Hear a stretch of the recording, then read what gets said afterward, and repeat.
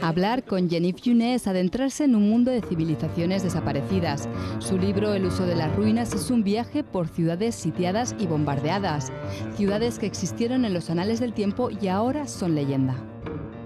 Lo que me interesa de las ruinas y de las guerras no son las guerras ni las ruinas en sí, sino la literatura que nace de estos lugares. Son 22 relatos desde Julio César que montó una guerra para poder escribir sobre ella, al arquitecto del Tercer Reich que diseñaba edificios pensando en que dejasen unas ruinas bellas.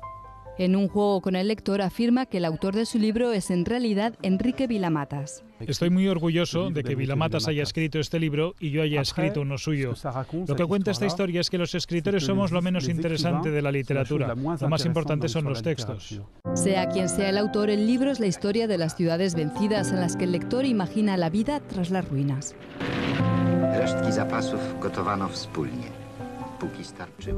También estas ruinas hablan de lo que ocurrió aquí un día.